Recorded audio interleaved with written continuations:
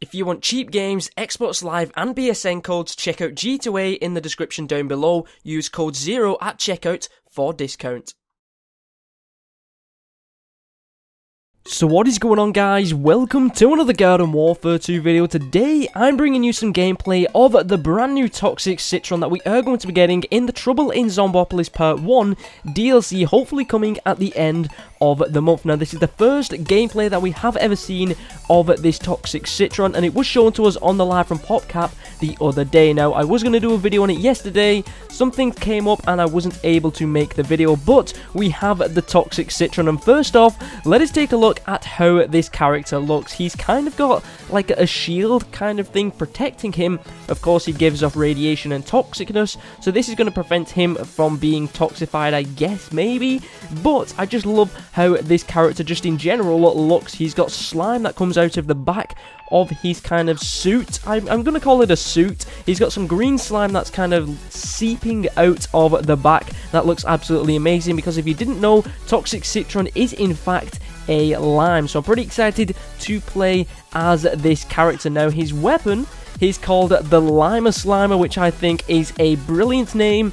He's toxic, he's slimy. Lima Slimer is the perfect name for this weapon. Now he has 20 bullets and at first when I saw some kind of uh, an image before this live stream happened, I saw the number 20 rather than seeing like the infinity logo that you would get if Citron had a beam and I saw this and I was like, oh no, it's going to be a single shot like the Electro Citron and I loved the beam that you could possibly have for the Citron character class and it was just a little bit of a shame when I first saw that because I thought, no, it's not a beam, it's going to be a single shot weapon. But that is not the case. I'm happy to say that all you need to do is you can hold the trigger down and it will fire very similar to, I guess the easiest way to explain it is maybe the um, maybe the Park Ranger. The Park Ranger, you hold it down and it's not fully automatic, like very fast, it's more dud dud dud dud dud. That is what the Toxic Citron does. The only difference is that the Park Ranger isn't exactly a toxic variant, he's very similar to the Alien Flower,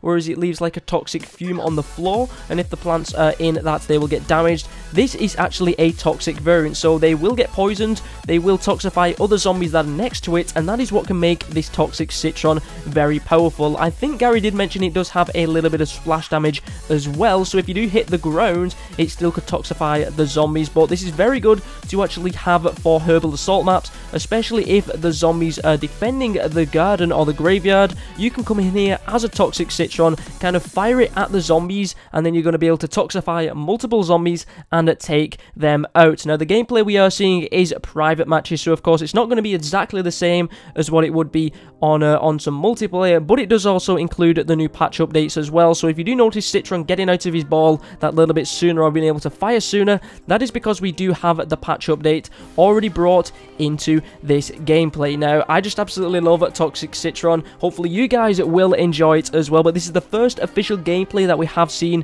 of Toxic Citron. He's an automatic weaponed character, very similar to the Park Ranger's rate of fire. He's got 20 bullets, he's going to be able to get some upgrades, he has 200 health as well, and this character looks absolutely insane. But there we go guys, there is some gameplay of the Toxic Citron that I wanted to show to you all, just in case you missed the live stream on Friday. I am going to do a video as well talking about the different sections of Zombopolis, which is the map that we are playing on as well, so I'm super excited to show you some more gameplay of Zombopolis, including the end game at the end. We don't get a lot of information about it, but we do see a slight glimpse of what the end game will be. But there we go, guys. Let me know what you think about this character in the comment section down below, and hopefully I'll catch you guys in the next one.